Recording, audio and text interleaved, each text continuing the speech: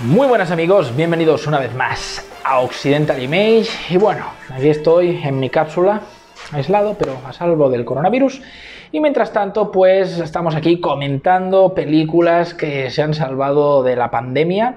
Y una de las últimas que ha llegado antes del cataclismo ha sido la cinta de la que vamos a hablar hoy y que por cierto podría ser, creo que de hecho es una de las mejores películas de este año 2020 que es The Gentleman. Los señores de la droga.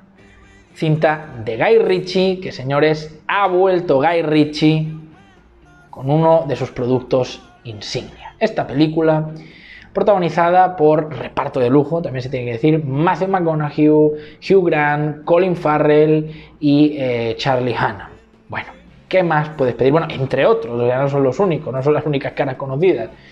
En fin, ¿qué puedo decir, señores? Es que creo que ya con esa frase lo he dicho todo. Ha vuelto Guy Ritchie. O sea, ¿qué más queréis? Y dirás, bueno, pero este hombre no ha dejado de dirigir películas. La última que nos dio fue la de Aladdin. Sí, sí, sí, sí. Me refiero con su propio estilo. Porque las cosas son así. Desde que este tipo empezó en el 98 con Lock and Stock and Two Smoking Barrels, eh, bueno, eh, fue lanzando productos que iban muy en la misma línea, pero ya en el año 2008 cesó con ese estilo. Es decir, la última película que tuvimos del puro estilo eh, Guy Ritchiano, podríamos decir, fue eh, Rock and Roll. Ahí terminó.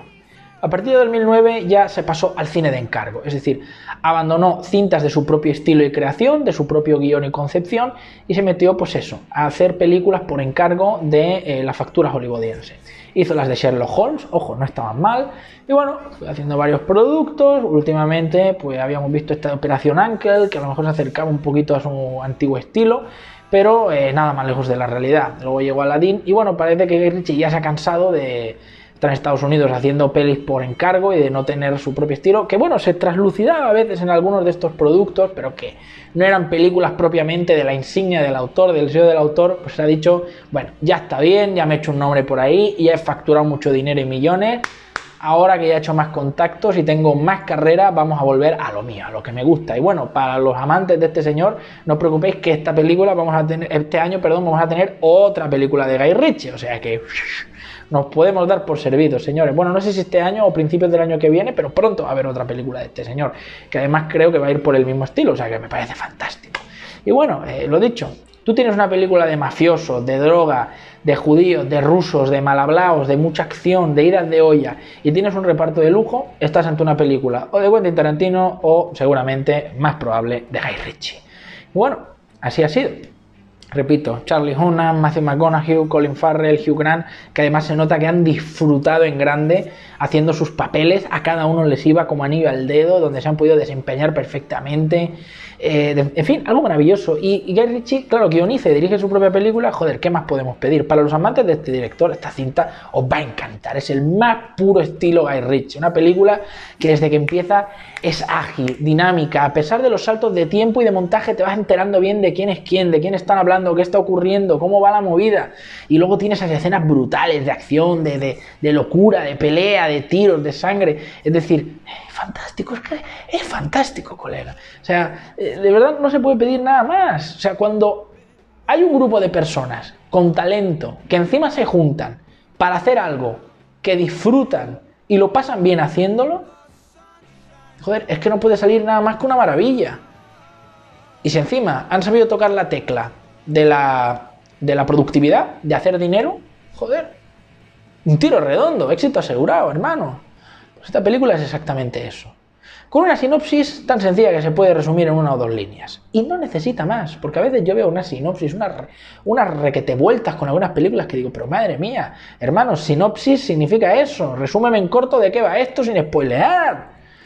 Bueno, pues en esta película tenemos algo rápido, sencillo y directo, que no es la panacea, no es nada nuevo, nada que no se haya visto sobre el cine de mafias y atracos y criminales y tal, pero que joder, este tío te lo vende como si fuera, es eh, como el mejor solomillo de la ciudad, joder, es que es algo de verdad que vale la pena deleitar como cinéfilo a este hombre.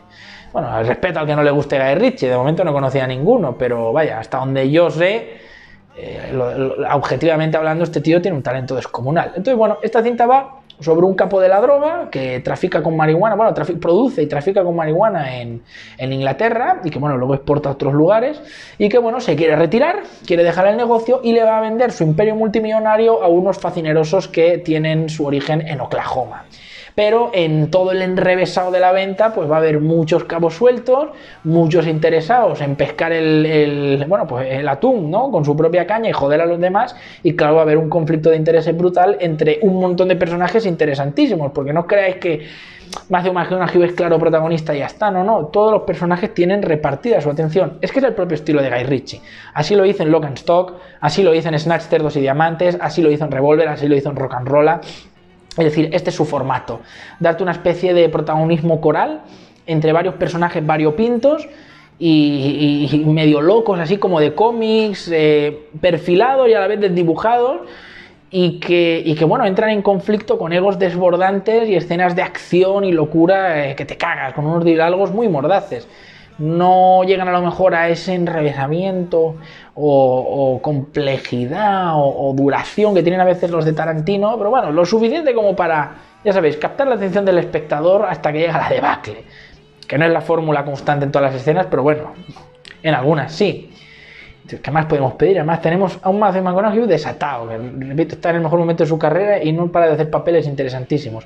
Charlie Hunnam, que se hizo popular por la serie de vikingos, aquí también haciendo uno de los mejores papeles de la película, como ese eh, secretario guardaespaldas de aspecto hipster y con toque bacteriófobo.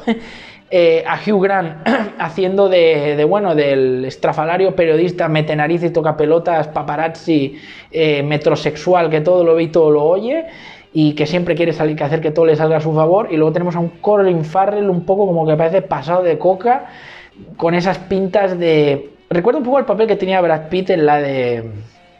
En la de Snatch Ceros y Dramantes, ¿no? Como que el tirado de la calle, pero con, con, con barrio y conocimiento, ¿no? Que tiene un grupo de taraos a su servicio de artes marciales. Bueno, el grupo ese de, negratas que tiene, que pegan hostias y graban las cosas a YouTube. O sea, es una de las fumadas más grandes que he visto en, los últimos años en una película, pero es que el cabrón de Guy Ritchie sabe hacer que funcione. En fin, es que son demasiadas cosas que no me cabrían en un review ni siquiera de dos horas. O sea, de verdad, es una de esas películas que hay que ir a verla.